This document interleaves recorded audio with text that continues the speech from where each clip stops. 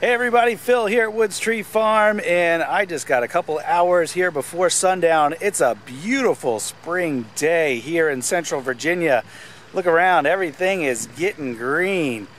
I'll move out of the way. Look at that. Looking nice out here. Springtime, we've gotten plenty of rain, now we're getting a little bit of sunshine and things are looking nice. So like I said, today I just got a couple hours out here before sundown. And first thing I'm going to do here is just knock over a couple trees because how else to get over a stressful day at work at the day job than uh, knock over some trees on the tractor. So here we go.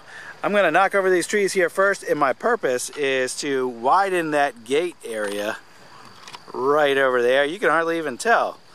There's a gate we're to widen that so that we can easily get the hay wagon through there. We don't really need that gate. We've already taken out fencing all down this way, so the gate really serves no purpose. So those first couple trees and the gate post are to come on out of there, and then I'll have plenty of room to get the hay wagon through there. So that's job one.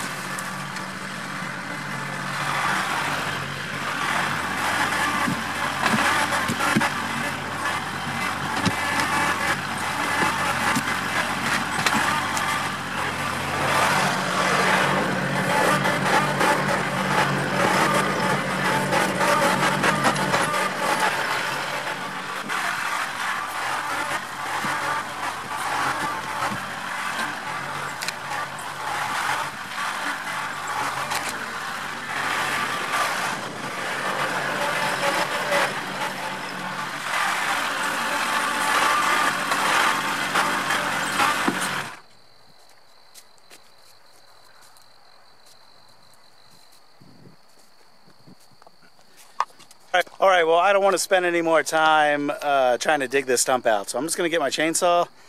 I'm going to cut it at ground level, mound some dirt up around it, spread some extra wood chips in this area, and we'll call it done. I'll move on.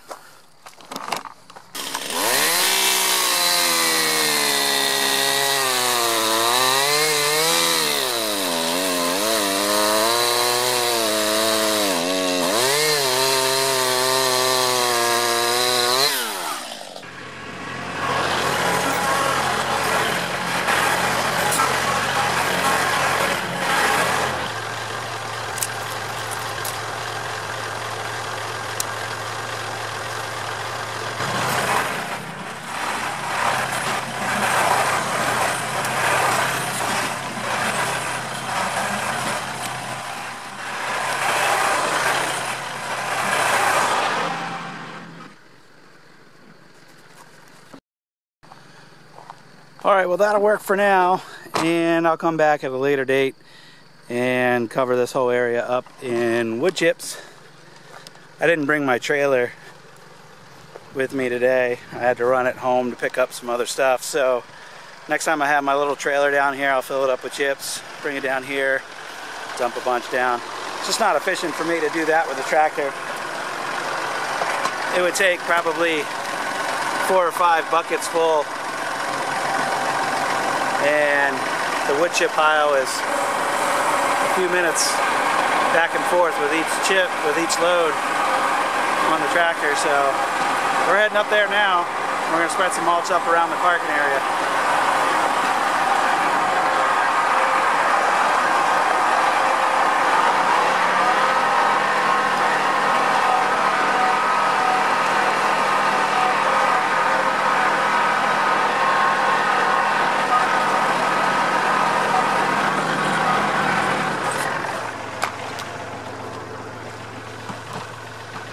Well, you can see we got a bunch of wood chips. We've got a couple different uh, tree companies dropping us wood chips that we're going to use all around the property wherever we need it.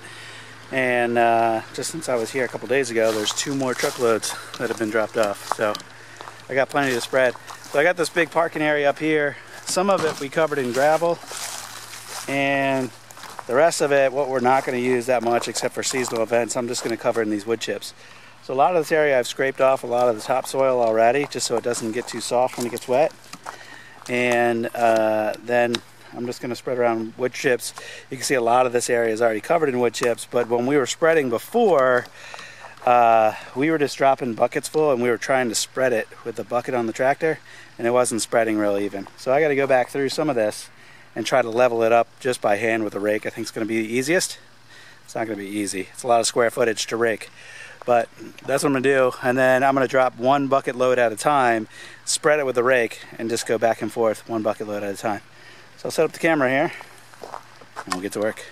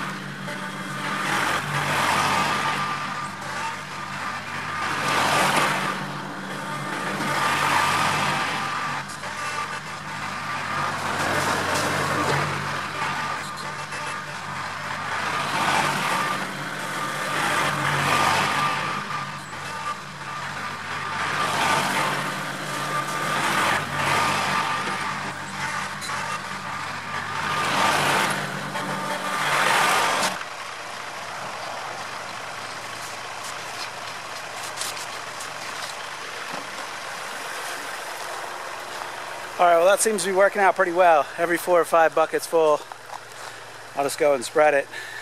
It's uh, probably a little harder than it looks, but it's gonna get it nice and smooth. So that's what I'm gonna keep doing.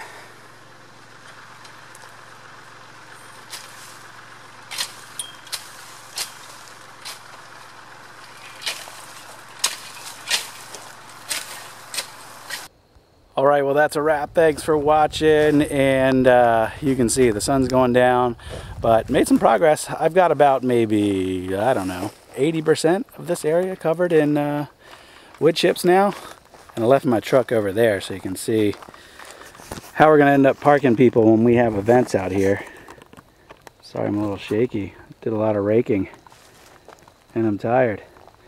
So anyway, we'll just have cars lined up one right after another along over there and that row can continue down that way to the right along the tree line. And then a little 180 over here we can park cars head in right here facing these implements that are lined up out here. So I think all in all we've got parking for about 40 cars which should be enough and then we can probably do overflow out into this area and I don't know if we'll spread more uh, wood chips out that way but we might and uh, I think if we expand over to this side, that'll probably get us up over 60 cars. So we should have plenty of room out here to do what we need to do.